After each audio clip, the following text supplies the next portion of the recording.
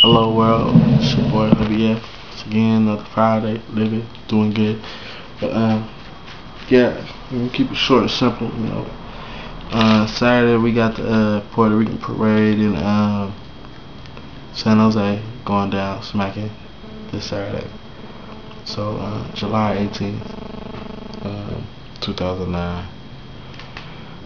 San Jose, California, be out there. Uh, see what else we got. The 30 30 going on tomorrow too. Saturday, smacking.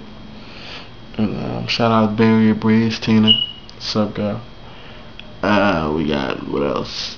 Get a little shout outs real quick. Shout out to uh, you know my supporters, everybody who support what I'm doing and how I'm doing. You know. And, uh, shout out to Big P. It's my nigga. Shout out to Wayne, of course. It's my nigga. Uh, shout out to Marshawn fam first. And um you know, keep it lit. Shout out to uh Jamila Hanif, Brandy Corbett, you know, Jeffrey, you know, Jasmine Corbett, you know everybody that's supporting the movement, you know. And, uh, I appreciate you guys. You know, I appreciate your comments. I appreciate everything. You know, just keep looking out for your boy, praying for your boy. You know, I'm trying to make things happen. You know, Hips on Deck magazine. So um, you can check the site out too, www.hipsondeckmag.com.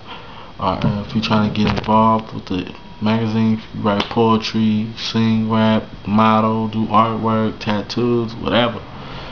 And you in the Bay Area, holla at your boy while I'm still here, cause we trying to make it go global. You know, we don't.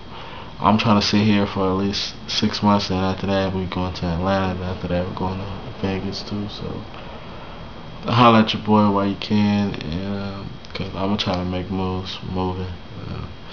Next week, your boy gonna be in New York. You know, um, shout out to Pace University. You know, I'm alumni there, so I, am gonna go help out orientation and stuff. Hopefully, if, uh, I get a call back sooner than later. And um,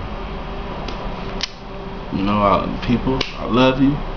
You know, even if you hate me, I love you. And uh, I'm just living good right now. Boy, need a haircut, but I ain't even stressing it because your boy trying to work.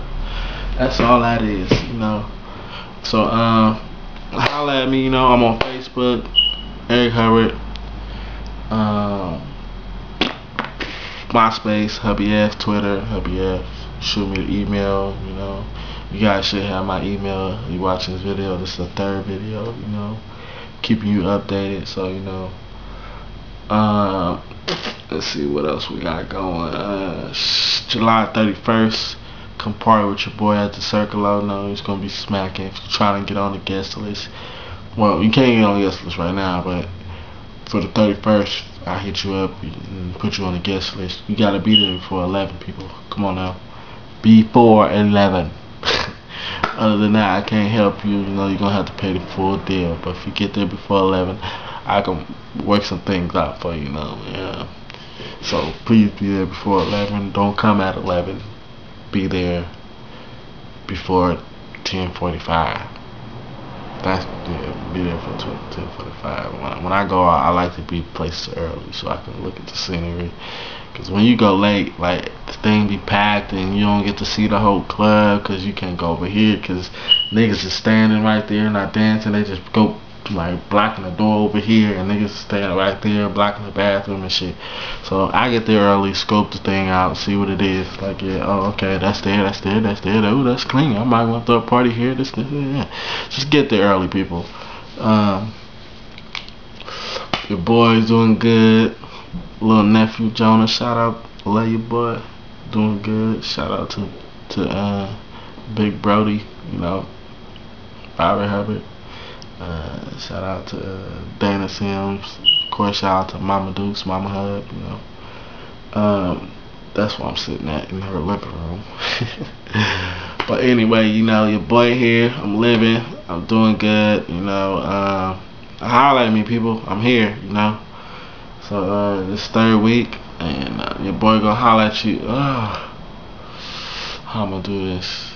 Yeah, I'm gonna holler at you next week. Next week I'm gonna be in New York though when I holler at you. So uh,